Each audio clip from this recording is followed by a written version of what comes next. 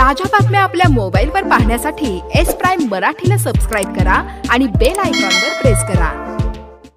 नमस्कार S prime न्यूजमध्ये आपल्या सर्वांचं स्वागत. लग्न मंडपात लग्नाची घाई सुरू होती. मुलीच्या नावावर अर्धा एकर जमीन करण्यावरून वाद सुरू झाला आणि जन्मदात्या वडिलाने आणि काकाने मिळून नवरीला थेट लग्न मंडपातून फरफटत घरी आणले आणि थेट फासावर लटकावले. हे एवढ्यावर थांबले नाहीत. तर तिच्यावर अग्नी देऊन तिची राग पोत्यात भरून ठेवली. या कृत्याने अवघा महाराष्ट्र हादरला आहे. गावातील एका मंदिरात मुलीच्या लग्नाची तयारी सुरू होती.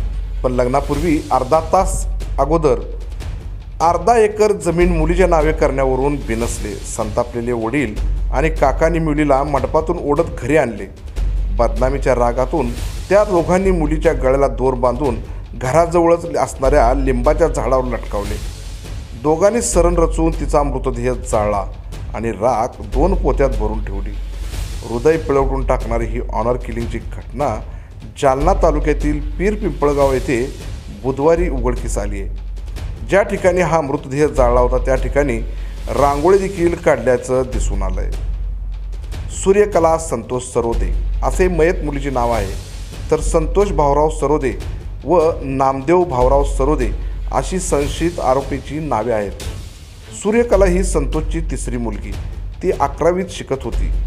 चुलत आत्याच्या मुलाचे व तिचे प्रेम जुळले. दोघेही घरातून निघून गेले होते.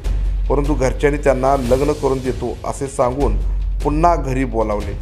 मंगळवारी एका मंदिरात त्यांनी दोन्ही कुटुंबांना लग्नासाठी बोलावून घेतले. परंतु मुलीच्या काकाने अर्धा एकर शेतजमीन मुलीच्या नावावर करण्याची मागणी केली. त्याला नकार मिळाल्याने वडिलासह काकाने सूर्यकलाला मंडपातून घरी उडत आणले.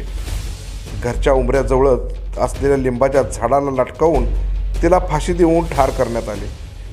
घरापासून हाकेच्या अंतरावरच सरण रचून तिचा मृतदेह जाळून टाकला. दोन गोण्यामध्ये तिची राखही भरून ठेवण्यात आली.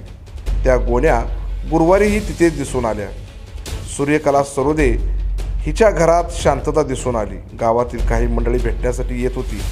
तिची आई घरात होती. तिच्या डोळ्यात अश्रू होते तर बहिणीसह घरातील लहान मुले बाहेर बसलेली होती.